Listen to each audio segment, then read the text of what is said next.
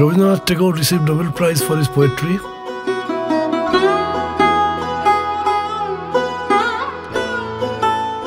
He was a playwright, essayist, storyteller, and a composer of music. In his long life, he had also contributed extensively to different social causes, including the formation of an academic institution named Vishwabharati.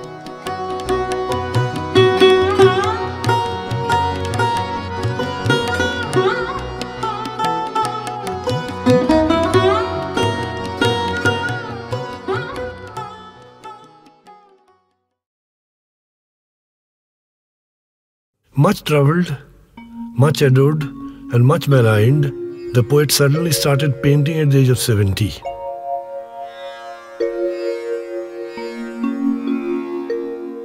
In almost no time, his painter self surfaced globally, initiating a debate about his sincerity as a curator as much as his relevance as a painting artist.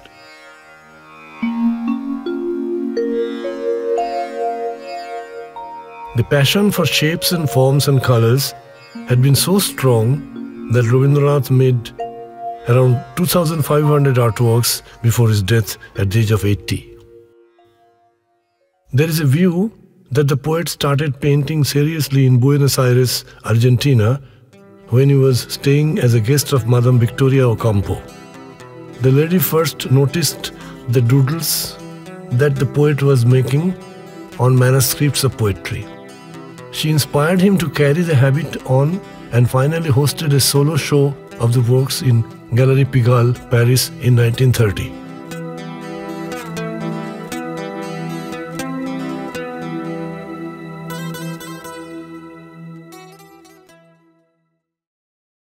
The fact, however, is something else. In his early youth, when he was visiting Shilaidaha, a village on the banks of the river Padda, as the son of the landlord, he had carried a sketchbook and tried to depict the scenes. His experience of travels abroad exposed the poet to the treasures of world art, which also must have worked as an inspiration when he began painting. Rabindranath was a worshipper of rhythm and cadence. This is best reflected in his poetry and songs. For him to convert the deletion on paper into a rhythmic whole was only natural. While doing so, he discovered within himself a passion for imagistic visuals.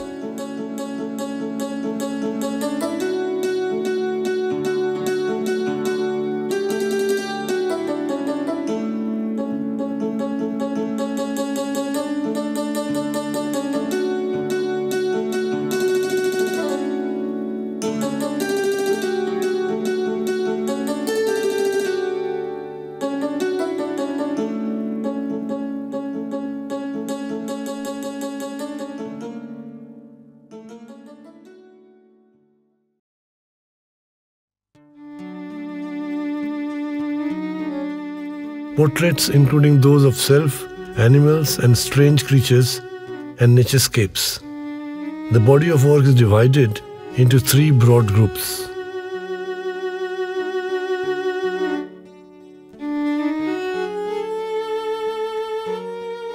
Most fascinating, perhaps, nature paintings.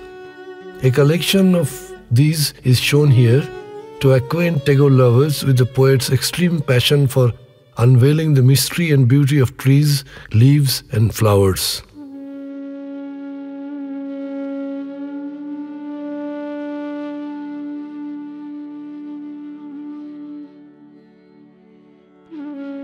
Rabindranath had no pretensions about academic limitations as an artist. He had categorically told that an inner urge, maybe an abstract passion, was driving him. Techniques were immaterial. He often did a pencil sketch and then started pouring colored ink on it. For an instant effect, a drying medium was often poured into the ink. Brush was used. At times, he used the sleeves of his robe to rub colors in a hurry.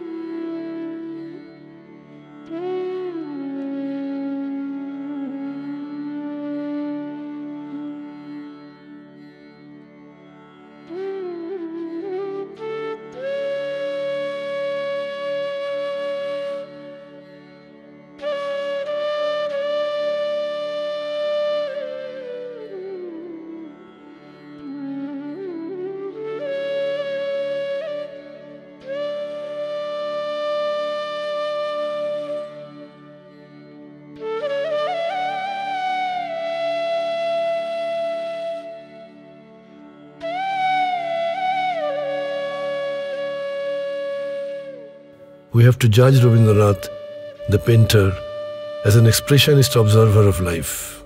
His method of expression was not at all translatory.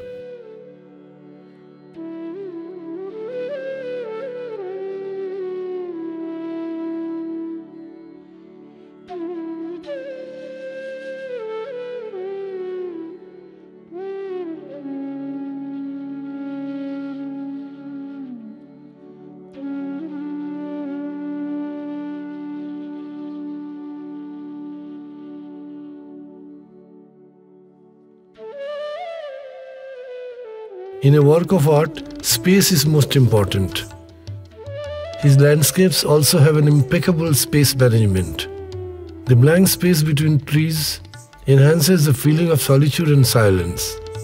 In case of flowers, he left almost no space. The poet was fond of secondary colors. Strong red, blue, etc. were out of the palette.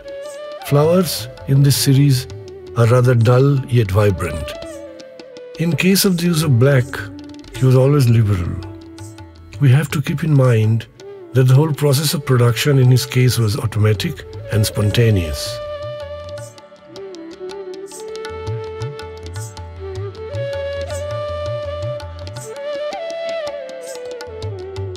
Associates have pointed out that the working process to him was intensive. He gave expression to whatever formed in mind often whatever seemed physically relevant at the point of production. His creative mind was controlled, in case of painting, by a presentational immediacy. I don't want to give captions to my works. I myself don't know what was taking shape. Better to leave it to the viewer. Let him name it, he said.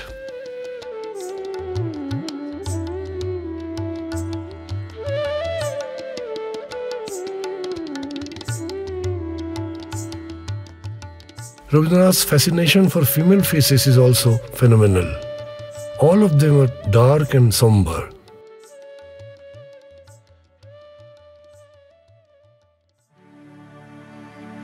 Same is the case with the self portraits.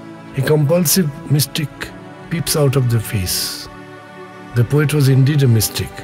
After the Nobel Prize, he was viewed by the Western critics as an Oriental mystic. As a painter, the poet had cultivated the theory of rhythm, which was the sole aim of all the arts that he had practiced. Avanindranath summarized the poet's paintings in the most credible way.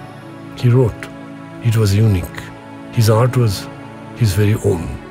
One cannot imitate it, nor can one explain it to one's satisfaction. Neither can the critic fit it into the set theory of his own or bring it under a distinct category. His art has something volcanic about it. His first exhibition in Paris elicited an enormous accolade. His art was a precision of forms. Meaning or explanation came much later. Chitrakoot Art Gallery is fortunate to accumulate this set of the poet's last harvest through various private sources. One can view these in the gallery and savor the taste of the poet's art.